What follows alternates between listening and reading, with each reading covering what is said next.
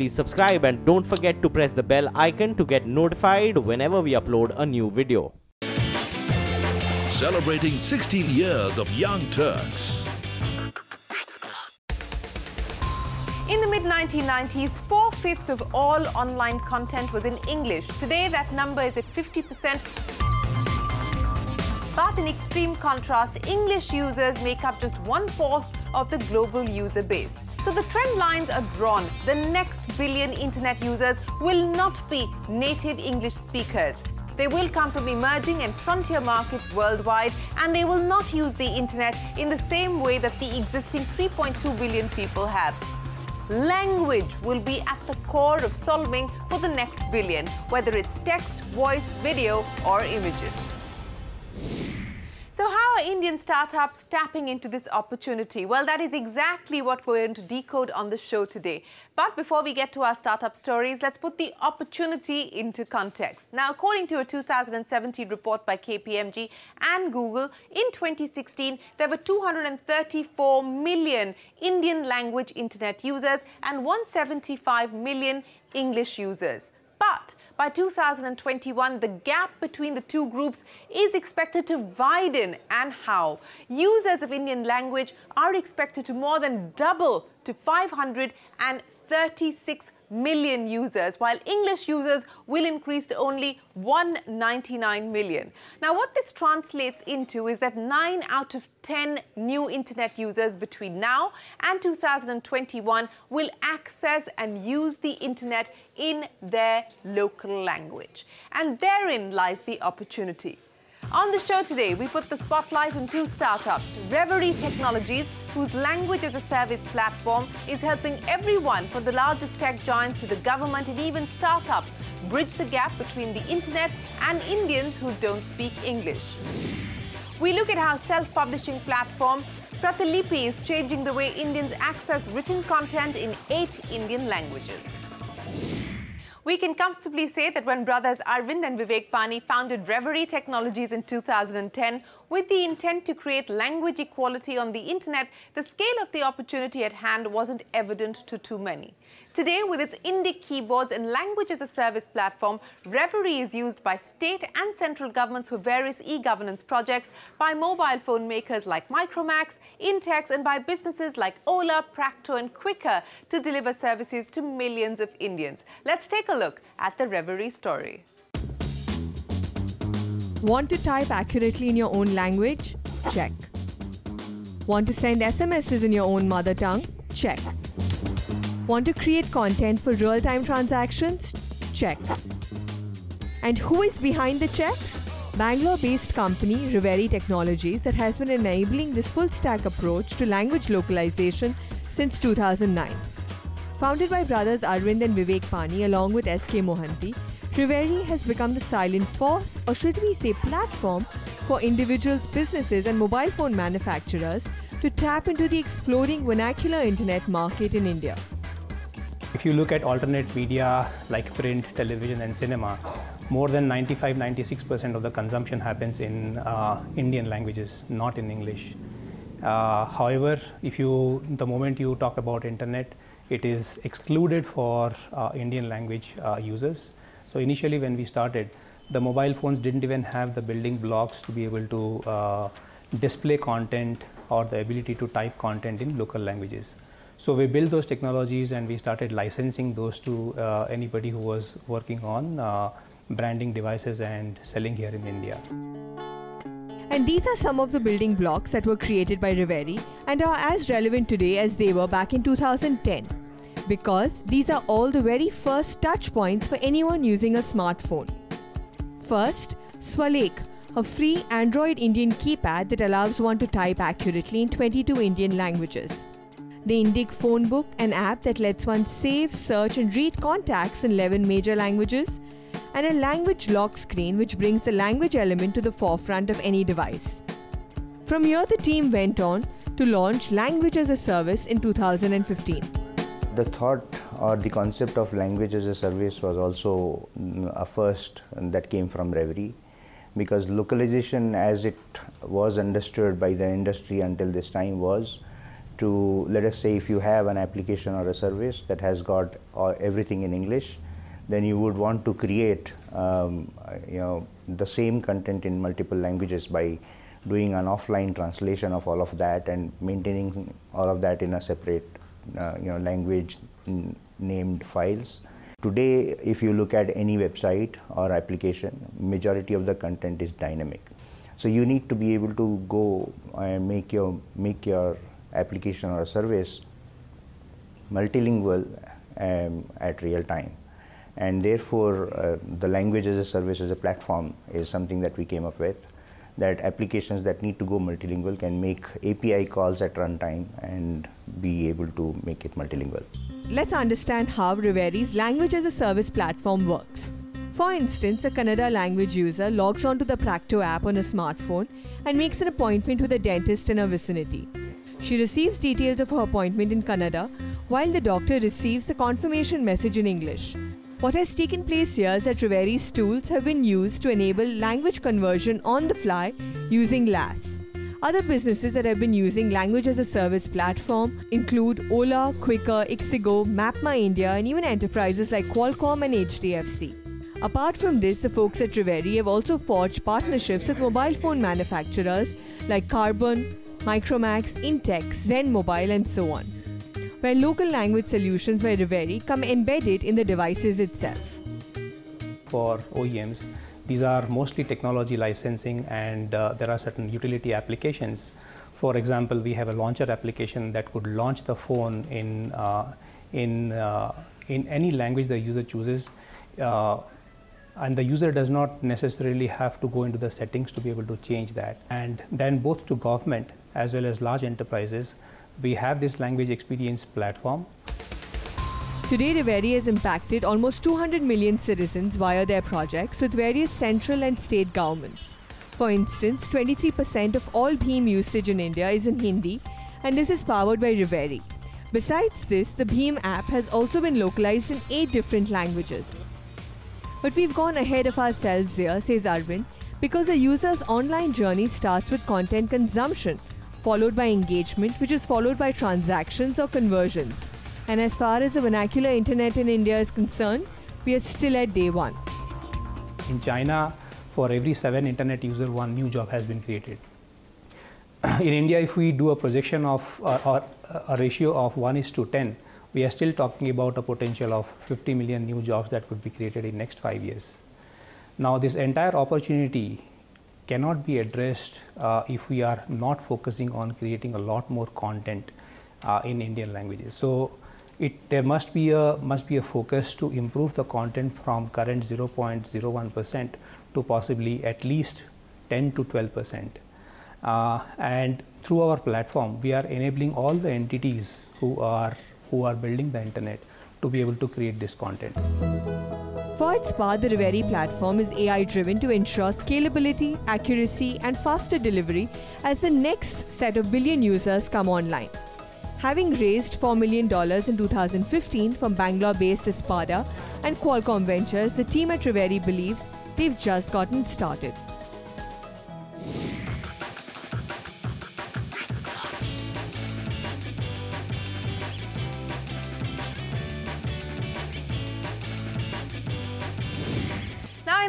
Years, more than 500 million Indians are likely to experience the internet for the first time in their lives.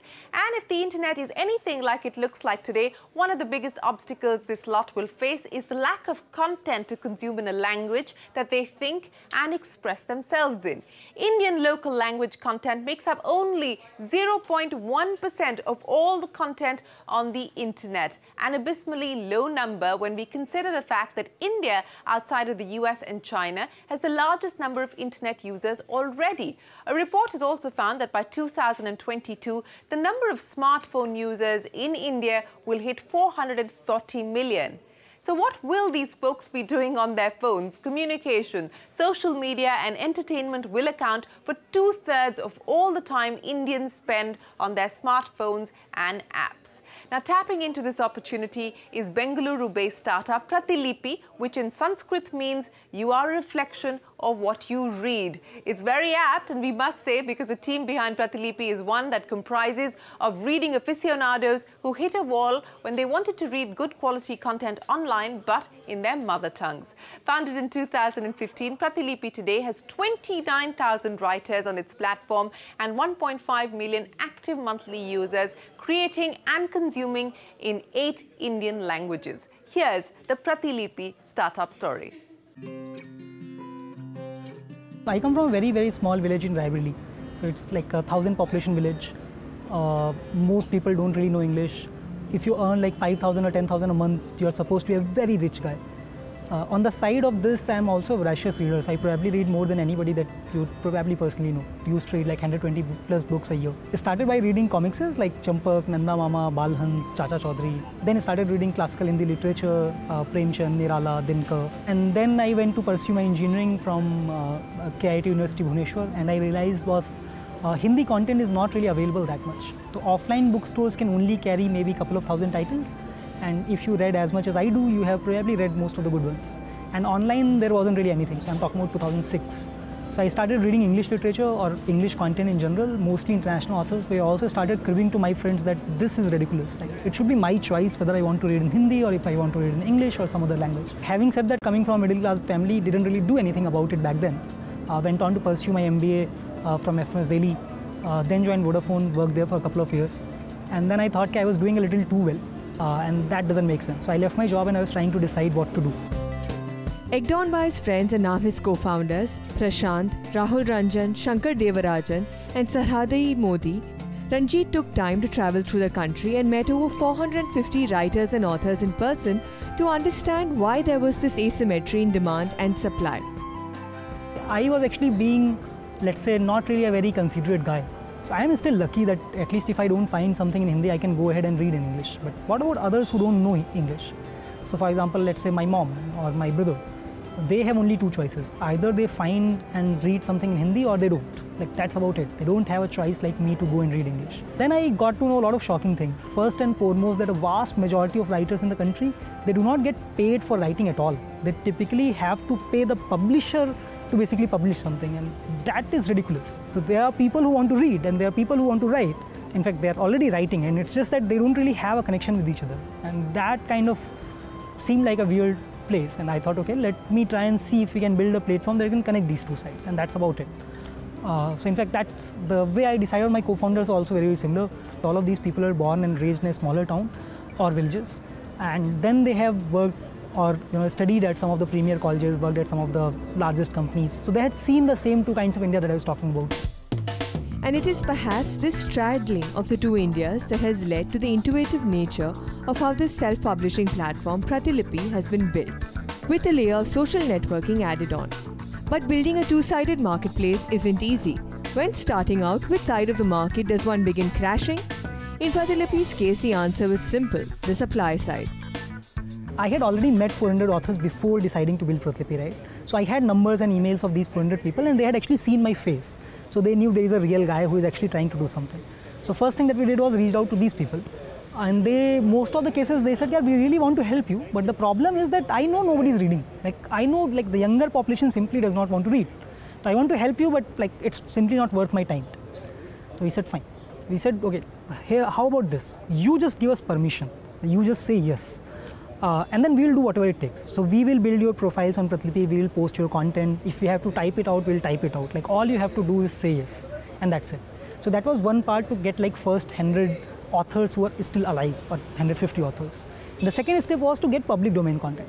Uh, so for example, let's say a Ramayana or a Premchand or a Tulsidas, so that kind of content for Hindi and Gujarati on Pratilipi. And then basically we tried to do everything that we could do to get readers for this content. So when we started doing that, for the first few, I think first few weeks at least, like we had maybe 20, 30, 40 readers a day. So typically if the numbers were going down for a particular day, I'll basically go on Facebook and post a status saying that I just read this book and this is awesome. And maybe 10 other people will come in and my numbers will jump twice. And uh, so that's how the small the base was. But over a period of time, as this number started growing a little bit, the exciting thing was that some of the people would come and basically read something and then they will say, boss, uh, this was written by my friend. So if you are publishing his story, why are you not publishing my story also? And we'll say, sure, like mail it to us, we'll publish it. From 20 to 40 readers back in 2015 to 1.5 million monthly active users today, Pratilipi has 29,000 authors on their platform, publishing books, stories, novels, poems, and essays in eight Indian languages. Readers on an average spend 37 minutes on the Pratilipi app, and for writers, the app has evolved to facilitate writing within the app itself, along with a more robust AI engine to create the social networking effects required to popularize a writer's work on the platform. And one such writer who's made Pratilipi her very own is Hyderabad based Pavitra Agarwal. Pavitra was an active writer in her teens in Lucknow, but marriage, a move to Hyderabad, and children distanced her from writing till a fatal cardiac illness turned the tide. Worried that her children won't know or remember their mother, Pavitra started writing again and she hasn't looked back since. A published author of children's books and novels, Pavitra was introduced to Pratilipi by a friend on Facebook. तो मुझे तो सबसे अच्छी बात तो ये लगी थी कि हम ये समझते थे कि हिंदी में पाठकों की बहुत कमी है हम किसके लिए लिख रहे हैं लेकिन प्रतिलिपि में मैंने जाके देखा कि इतने ज़्यादा पाठक हैं बहुत पाठक हैं प्रतिलिपि में और पढ़ते हैं और कमेंट भेजते हैं तो नए पाठकों की जब प्रतिक्रियाएँ आई आती हैं था एक ने कहा मेरे हस्बैंड में बहुत बड़ा परिवर्तन आया है आपकी कहानी पढ़ के लेखन का उद्देश्य भी यही है कि उसे पढ़ करके कहीं कोई कुछ परसेंट लोगों के जीवन में कुछ संतोष आए 9 out of 10 of the next 500 million Indians coming online will be more conversant in their native languages than in English. So the market is massive, but is user generated content on a free, self publishing platform like Pratilipi the answer to solving this content conundrum? And was finding investor buy-in a challenge? Uh, first and foremost is that till about a year, year and a half back, for a vast majority of investors, especially the like relatively speaking small investors, one of the biggest questions was how do you monetize? Uh, and then China Literature, basically, which is now owned by Tencent, they did their IPO a uh, few months back. And I think from that time onwards, it has become a little bit more obvious to people that okay, there is one other way to monetize, and that has been part of our plan A of monetization that we have talked about. So that has become a lot easier since China Literature basically IPO'd. Uh, the second, and I would argue probably even more important than this, has been that some of the smartest VCs that we met, they basically typically said that yeah, there are only X number of writers in the country, right? Right now, maybe let's say officially the number would be maybe half a million, probably lesser. So if you only have half a million writers, how does this become, you know, at a venture scale business? The question was, can we create new writers? So we kept on theoretically saying that at some point in time, readers will start magically becoming writers. Uh, for example, before YouTube came along, how many people were like video producers? It was basically movie makers and TV series makers, and that's it. And now basically everybody kind of, you know, creates videos. It also helps that one of the investors that pumped in money into Pratilipi's Series A of $4.3 million is a Chinese VC, Shunwei Capital, which is the venture capital firm started by Xiaomi founder Lei Jun. The round was led by Omidyar Network and existing investors Nexus Venture Partners and Times Internet also participated. So in our context, basically my cost of content acquisition is zero because we don't create any content, we don't curate any content, we don't have a single journalist or editor or writer on the platform on our payroll, for example. It's an entirely UGC platform. So cost of content acquisition is zero. Similarly, cost of customer acquisition is close to zero because we don't really spend any money on marketing or advertising or anything of that sort. So vast majority of readers who come on to Pratilipi, they come on their own or they come by a buying referred by someone or by search. So essentially, because the cost structure in the sense of variable cost is close to zero, so we can afford to essentially not worry about monetization. Then we potentially could have very strong network effects. Think on this way, ki if you're a writer, where would you go and publish your next story? You would go and publish your next story whoever has the most reach or the most number of audiences. So then basically whoever is bigger keeps on becoming bigger. Similarly, if you're a reader, what platform do you go to read? You typically go to a platform that has like the best and the most varied content. So again, a platform that has a large number of users essentially gets to build a better recommendation or a better personalization engine. So you get to read the best content. So which is why, for example, we can think of multiple competitors to Netflix. There is Amazon Prime, there is Hotstar, there is Hulu, there is a bunch of others. But who is a competitor to YouTube? There is basically YouTube and there is basically nobody. Which is the difference between typically UGC platforms and aggregators. So the team is not actively thinking of monetization at least for the next two and a half years. And even then, some avenues that they might explore for monetization include subscription fees and licensing of original IP rights. But that's in the future. This year, Pratilipi plans to launch audio stories as well as expand to other regional languages while improving their personalization and recommendation engine.